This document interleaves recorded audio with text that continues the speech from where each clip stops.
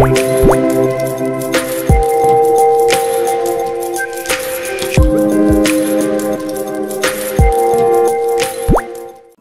everyone, this is Phani. You are watching Phani EHS Info. Today I come up with the topic laboratory fume hood safety. In this presentation, we discuss about what is a fume hood, what are the do's and don'ts with fume hoods while using, the key components of fume hoods, and how to inspect fume hoods. First of all, introduction. Hoods functions as local exhaust ventilation that protects personnel from exposure to chemicals being handled in the laboratories. Why do we use fume hood? Inhalation is the major route of entry of chemicals into the body. Chemical fumes and vapors can directly enter our bloodstream through this way. A properly designed and operated fume hood reduces the exposure to hazardous fumes, vapors, gases, and dusts. A fume hood confines hazardous airborne material by diluting it with a large amount of air, drying it through an exhaust system and then expelling the air in vents.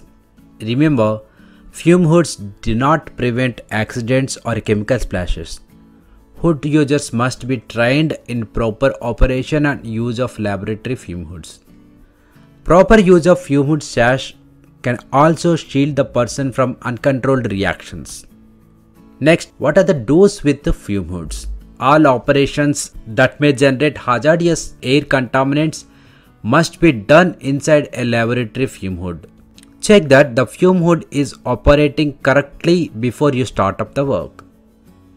Use appropriate barricades in front of hood if there is a chance of explosion or eruption. While working inside the hood, keep the hood sash closed as much as possible. Caps on the bottles of chemicals being used in fume hood should be tightly closed when not in use.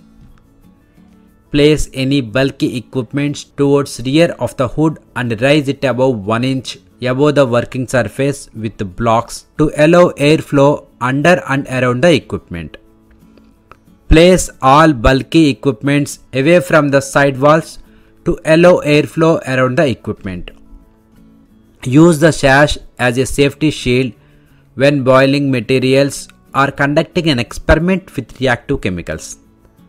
Always keep sash as low as possible.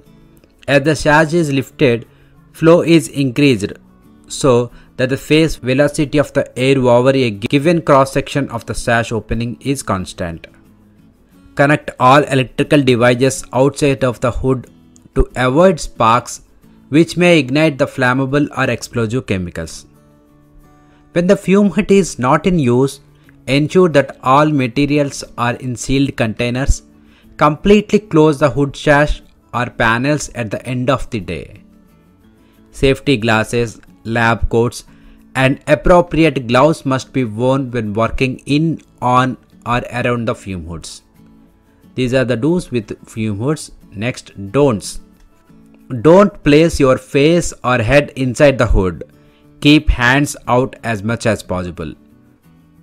Do not use the hood for storage of equipments, containers or chemicals which are not going to be used during the day. Do not use hoods as a waste disposal mechanism of volatile materials. Do not attempt override or disable hood face velocity monitors or alarms. Do not place any heat generating equipments in the rear of the hood. Heating devices in the hood produce convection currents that can disrupt airflow. Do not place electrical receptacles or other spark source inside the hood when flammable liquids or gases are present. No permanent electrical receptacles are permitted in the hood. Do not place objects or equipments in front of the hood which can interfere with airflow pattern into the hood reducing its effectiveness. Do not remove hood sash or panels except when necessary for apparatus setup or removal. Do not use fume hood as a storage area. They should contain only working volumes of chemicals. Don't use fume hoods to vent or dispose of hazardous materials through air dilution. Don't place equipment, material or chemicals in the hood which blocks the slots or otherwise interfere with smooth hood airflow. Don't place power boards or other spark producing sources inside the hood. These are the don'ts with fume hoods. Next one the key components of fume hoods. Baffles located at the rear of the hood they direct air in appropriate direction. Work surface Generally a laboratory bench top or the floor in the case of a floor mounted hood this is the area where work is conducted. Airfoil A foil is positioned at the front edge of the hood and is designed to direct air into the hood to allow for less turbulence and more efficient containment of chemicals. Lighting equipment to provide proper illumination to work inside the fume hood. Exhaust duct. The duct connects the fume hood to exhaust system and acts as the pathway for chemicals travel towards the outside air. Sash the glass window that opens and closes either vertically, horizontally or a combination of both. The sash protects the user. Paste cabinet storage cabinet to store chemicals located at the bottom of the fume hood. These are the key components of fume hood. Next one, how to inspect the fume hood. Inspect the sash mechanism for corrosion or damage, including sash and cables. Check the condition of the work surface baffles. Inspect the fans, motors, drives, and bearings for correct operation or wear. Check the condition of the general illumination, indicator lights, and associated switches.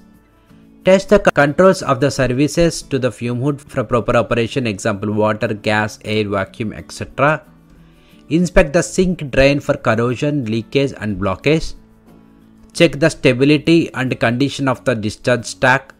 Inspect the condition of the exhaust ducting, particularly integrity of the joints. Measure face velocity and compare to the fume hood specification and correct if needed. And verify calibration of the airflow alarm. This is about the laboratory fume hoods.